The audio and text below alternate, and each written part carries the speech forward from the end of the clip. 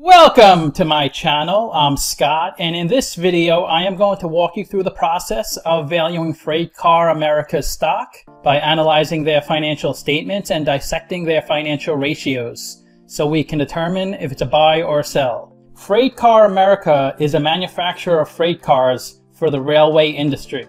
The company is headquartered in Chicago and was founded in 1901. It went public in 2005 and trades on the Nasdaq and Deutsche Börse. All of its manufacturing takes place in Mexico. In 2020, it delivered 751 rail cars, compared to nearly 2,300 in 2019. It builds, repairs, and leases freight cars mainly for the transportation of bulk materials like coal, metals, wood products, and autos. In addition to the freight cars it constructs, the company also manufactures parts for cars. In September of last year, the company announced its plan to close its facility in Alabama. Also, layoffs would occur over the following months. The CEO of the company said the depressed rail market and the devastating impact and ongoing threat of COVID-19 are reasons for the layoffs and the plant closure. Let's get started with the model. This is a microcap company, 100 million market cap. They're trading at 641 a share and they have 16 million shares outstanding. Let's look at the financials. The way you value a company is you estimate the free cash flows into the future and then you discount those numbers back to today's value. That's what we're doing in this video. And free cash flow is cash flow from operations minus capital expenditures. So you can see they had positive free cash flow in 2017, negative in the following years. Net income is the profit and loss on the income statement. It's revenue minus expenses, and that's negative every year. Revenue is the sales for the company, and that decreases every year. It looks pretty bad from 400 million down to 100 million. This is the company's income statement. The top line is the revenue, the sales. Below that is the cost of revenue. These are the expenses directly related to generating the revenue. And the difference between those two numbers is the gross profit. And they have negative gross profit every year except in 2017. Below that is operating expenses. Then below that is operating income which is negative every year.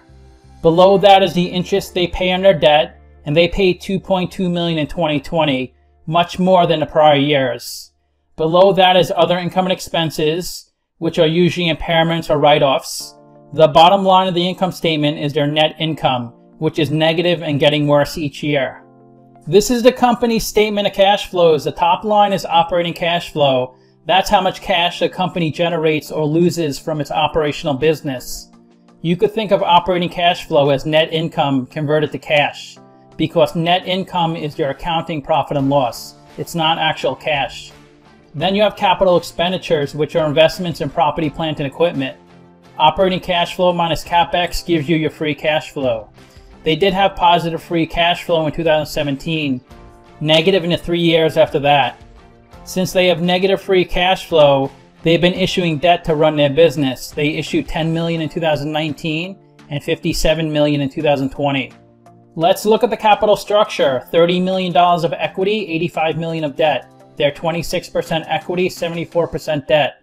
Their net debt is 31 million and their WACC is 12.5%.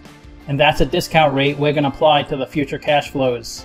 We estimated four years of future free cash flows we also estimated a terminal value, which is all cash flows past year four. We discounted those numbers back to today using the weighted average cost of capital. We get a value of the company of negative $29 million.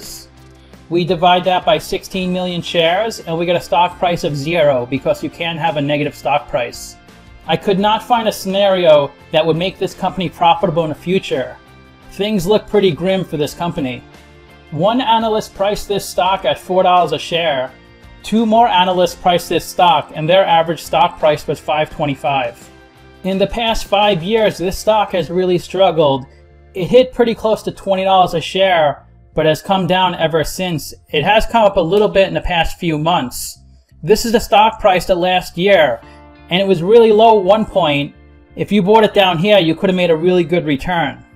These are the total freight cars in North America since 2009. So you can see the number is pretty steady. It is growing a little bit, but this company's revenue is going down. That's not a good sign. They don't have much of this market, and their market share keeps decreasing. They have a really high beta, 2.49, so the stock moves two and a half times the market. It's very volatile. The stock has gone up nearly 600% in the past 52 weeks, while the S&P 500 went up 47%. The 52-week low was 90 cents, the high was 863. And the stock is trading above its 50-day and 200-day moving average.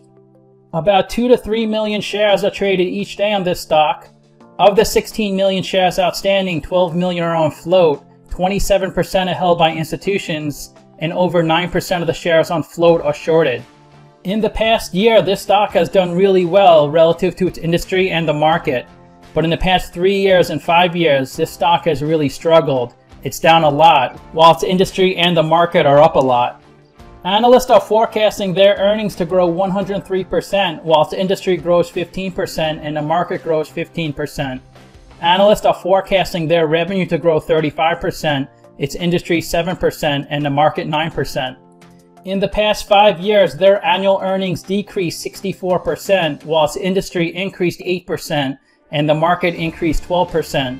In the past year, their earnings decreased 12%, its industry decreased 7% and the market increased 18%. If you invested $10,000 into this company 10 years ago, you'd be at $2,600 today. That's a 74% total loss. The biggest shareholder is the factory that manufactures their products. They own 12.5% of the stock. Then Vanguard at 3%, Minerva Advisors, Hamblin Watsa, and Renaissance Technologies. Let's look at their financial ratios. The average PE in the market is 33, the median is 22. PE is stock price over earnings per share. To calculate earnings per share, that's net income over shares outstanding. They have negative net income, so we can't look at the PE. Price to sales is 0.9, so investors are paying 90 cents for $1 revenue. That's a really good price to sales ratio. Price to book is 3.3, which is pretty close to the market median. They have negative EBIT, so they have negative return on invested capital, negative interest coverage ratio, and negative ROE. They do have a good current ratio at 1.7. Their current assets are 54 million of cash, 14 million of receivables, and 39 million of inventory. They do seem to be undercapitalized. They had negative $69 million of free cash flow, positive 50 million of working capital, so they're short $19 million. So they're going to need more debt or equity financing to run their business over the next 12 months. The best way to look at ratios to compare them to companies in the same industry. I've done videos of three other companies in the same industry as Rail. And if Rail has a number in blue, they're better than the average. If they have a number in red, they're worse than the average. We can't look at their PE. Their price to sales and price to book and current ratio are better than average. They have a terrible ROE. They're the highest in debt of the four companies and they're by far the smallest of the four companies, and they don't pay a dividend. The two Canadian companies do pay a dividend. So to summarize, I value the company at nothing because they've been really struggling over the years. Their revenue is going down a lot, and unless they turn things around, I don't see how much longer this company can stay in business. I rank their free cash flow as 1 out of 10, their revenue 1 out of 10, and their ratio is 5 out of 10. So let me know what you think. Give this video a like, subscribe, or comment below. Also, if you'd like to get a custom valuation or just support the channel, you can become a member by clicking on the link in the description below.